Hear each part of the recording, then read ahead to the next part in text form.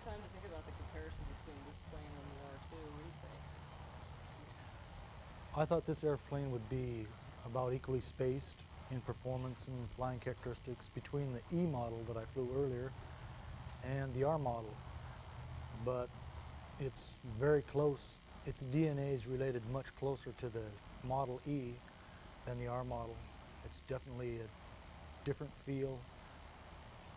It's the engineering that went into the airplane was more towards the E model type, the Granville's early stuff. And then when Pete Miller came on board and went towards the R models, there's definitely, I see a, I sense a feeling in the airplane that's just down a different channel, a new wave.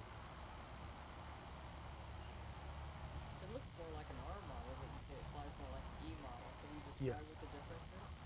The stick forces, this airplane has a much farther forward CG, so it's rock solid in the air. It's not divergent or anything like the R model.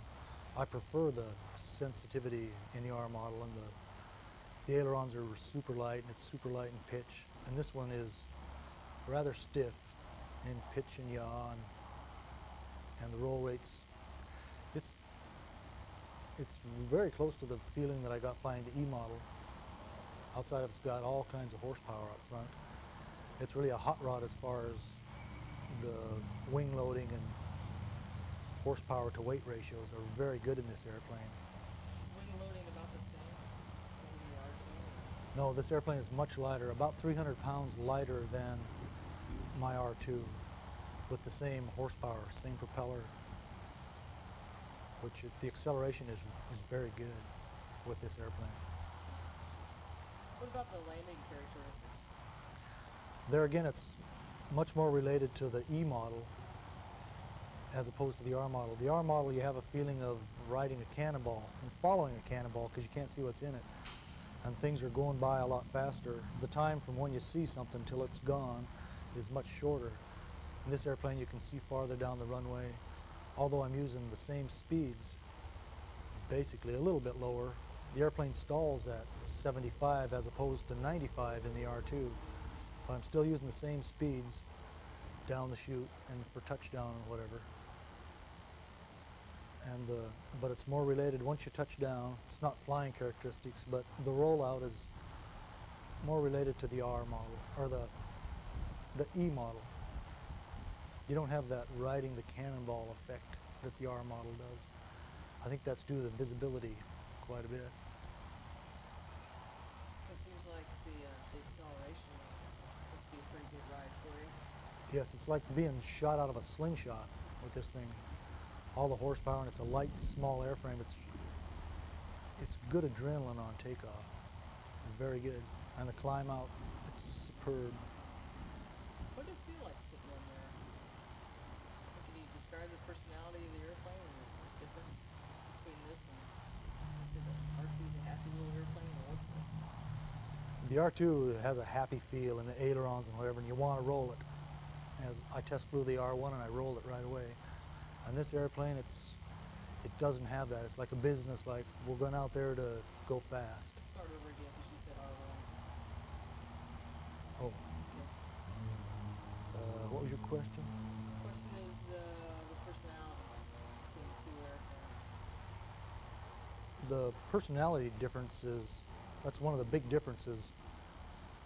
The R2, where it's it has a happy feel about it, sensitive in the ailerons and pitch, it wants to roll. On the test flight on the the R2, I rolled it right away. And this airplane, I it, it wasn't like that happy feeling. It's a more a business-like approach, like we're going out there to go fast. It doesn't have the sensitivity. It's more of a rock-solid airplane where the Gee Bee is kind of divergent, twitchy. The Gee Bee R2. What uh, what did it feel like rolling in, in uh, inverted flight? Any interesting characteristics or, or knife edge? The knife edge qualities are just as good as the R2. The, with the power to weight ratio, just goes on forever. Over indicating over 200 miles an hour, you can just go on forever. Similar to the R2. The roll rate, pitch, everything is just it's stiff. 50% more pressures. Which is makes 50% more work. You work up a sweat, and it's just not as fun. It's not a. It wasn't designed to be an aerobatic airplane, and that's really evident in this one. Where the R2, it, it's a really a happy sort of a character. Okay. Anything else you'd like to tell me about this? On a scale of 1 to 10, where would you rate it?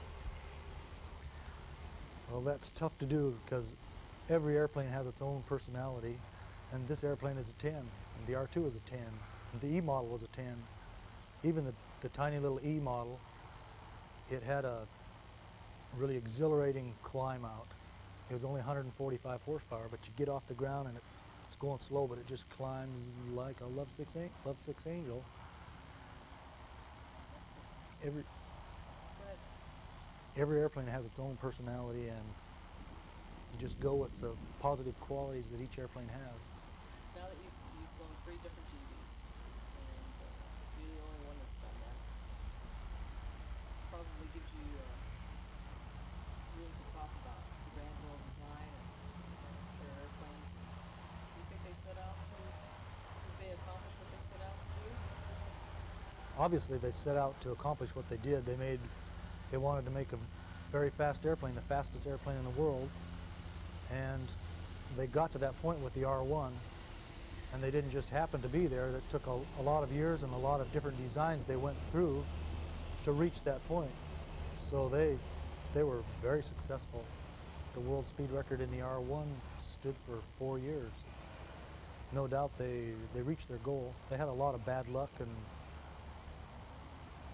just couldn't come back. Couldn't during the depression and stuff. They couldn't come back uh, and regain. I guess what I'm asking is, what do you think of the overall quality of the, the designs that you've?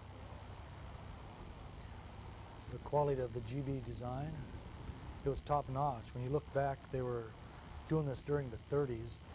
That was the leading edge of technology in the 30s, high tech stuff. And airplanes today, wooden tube fabric airplanes built today, are no better than this one. There's been very few improvements from what the Granville, Granvilles were doing, and they pretty much invented it. They invented the technology, and it worked. So their reputation, you think, is uh, is unearned for dangerous aircraft? You've flown three of them now. Well, the I've been around Gee Bees for a while, and the stories, and it's your armchair armchair pilots create the stories.